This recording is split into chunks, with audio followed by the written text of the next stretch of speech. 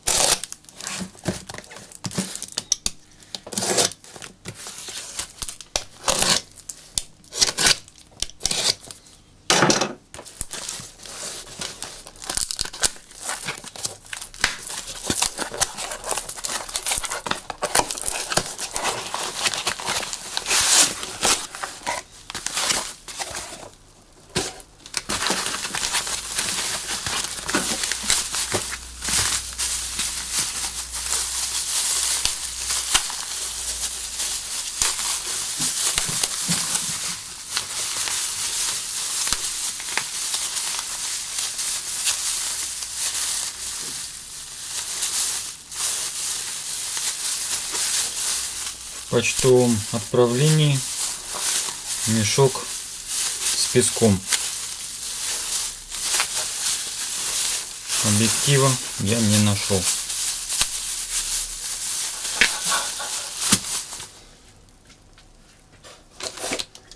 Нашел весы, чтобы, значит, хоть как-то зафиксировать это дело. К сожалению, нормально организовать, тем не менее, замеры и что-то подобной возможности нет. Возвращаемся к упаковке. Снаружи обозначен вес 0,587. Сейчас попробую э, более-менее точно все это скомпоновать обратно в какой-то общий вид и сделать контрольный замер.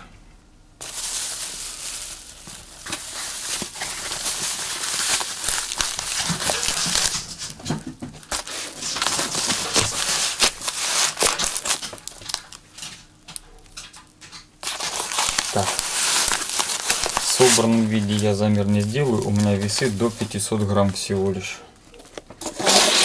Поэтому будем считать по нулям. 127 коробка с почтовым пакетом. Ну, 127 с половиной.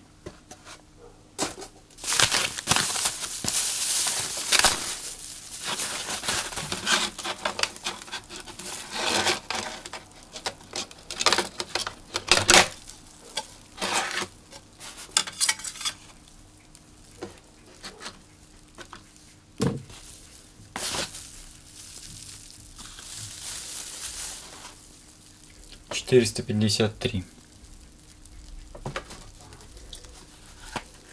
Там было сто двадцать семь. В уме я сейчас, к сожалению, по возрасту уже, наверное, быстро не посчитаю.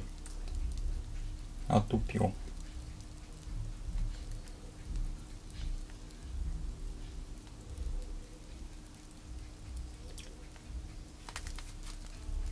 Пятьсот семьдесят семь.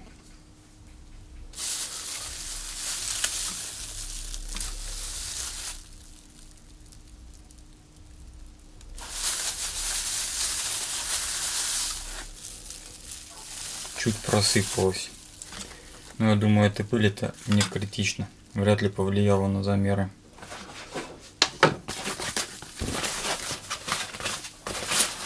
Сейчас попробую перевесить упаковку всю полностью с белой пленкой.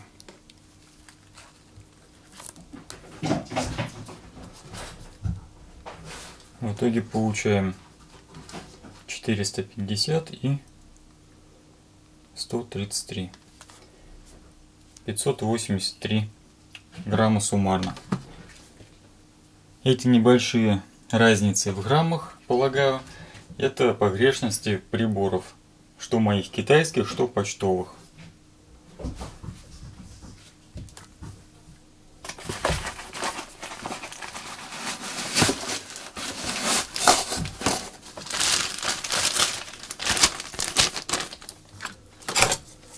Однако по опыту данные весы, если и имеют погрешность, то она укладывается в очень мизерные значения.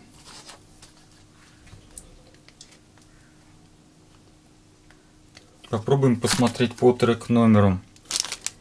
Менялся ли вес почтового отправления по пути следования из точки А в точку Б.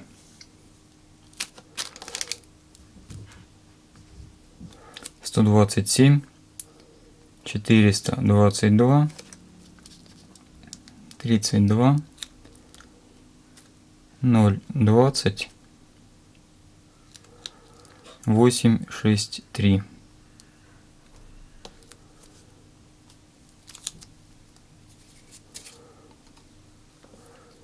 Итак, по треку 587 грамм на мое имя. 29 принятого деления связи мая. И 587 грамм прибыли в пункт назначения.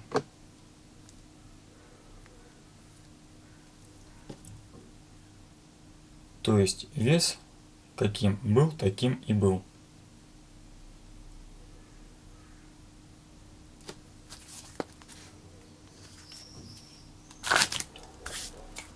Выпуск экстренный, так скажем. Вот. Я не планировал, что буду публиковать данный материал. Но так уж получилось, что материал образовался сам собой, потому что такого рода технические распаковки я не записываю. Их задача только одна – зафиксировать содержимое почтового отправления, чтобы иметь какой-то, так сказать, наглядный доказательный материал. Потому что в противном случае доказать, что ты не верблюд, становится просто нереально. Кроме того, замечу, что на моей практике это первый подобный случай, когда вместо ценного оплаченного вложения – оказывается, ну, непонятно что. Посему хочу озвучить два совета, какими бы банальными они ни были. Тем, кто приобретает что-либо с пересылкой, а, по возможности проверяйте доскональным образом репутацию отправителя. Интересуйтесь, нет ли у него э, аккаунта на каком-то ресурсе, где оставляют отзывы. Поинтересуйтесь, а нет ли возможности сделать дополнительные фото на фоне, например, открытого объявления, а лучше объявления открытого в режиме редактирования. Поинтересуйтесь, нет ли возможности встретиться лично, ну и в таком духе. Любой отрицательный ответ в данном случае будет служить косвенным хотя и не гарантирующим ничего сигналом, и дополнительным поводом насторожиться. Приобретая у случайных людей, можно получить такую ситуацию, которую я сейчас, грубо говоря, наблюдаю.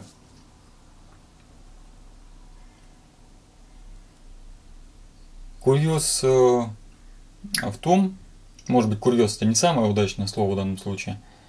Курьез в том, что значит, э, человек, который оплатил данную посылку, он покупал Юпитер 9 Киев Контекс, и чтобы сэкономить время на пересылках и деньги, решил от непосредственного продавца передать сразу мне данное дело, чтобы я переделывал уже.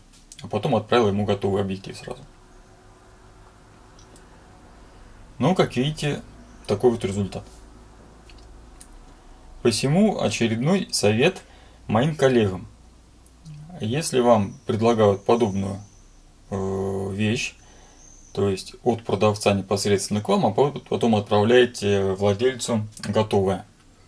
Фиксируйте распаковку. Вообще распаковки снимать обязательно всегда.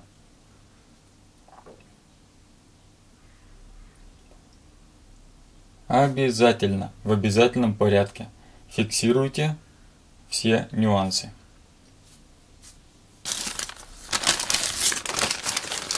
Кстати, я не помню, показал ли я не вскрытый пакет со всех сторон первоначально. Но, как видите, он не имеет каких-то повреждений, кроме единственного. место, где я его разрезал и потом чуть надорвал в самом начале. Такая вот загогулина. Что с этим делать, я сейчас, честно говоря, не знаю. Владельца данной посылки я в известность поставил, уведомил о наличии видеозаписи распаковки, уведомил, э, что материалы могу передать, ну и все в таком духе.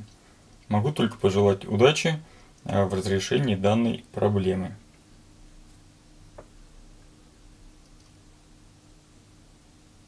Так что мне с вами остается, уважаемая аудитория, только попрощаться и извиниться за то, что речь была несколько более сбивчива, чем обычно, были большие паузы и все прочее. Выпуск выходит с минимальным монтажом и исключительно, грубо говоря, а, весь монтаж в склейке двух фрагментов. Один непосредственно распаковка, второй взвешивание, ну и вот эта вся болтовня.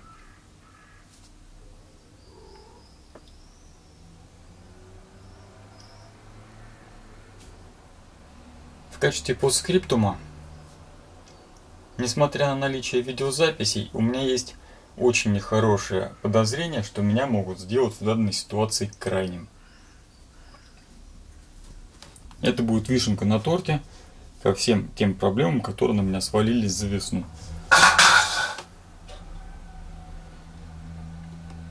Нафиг такие тортики.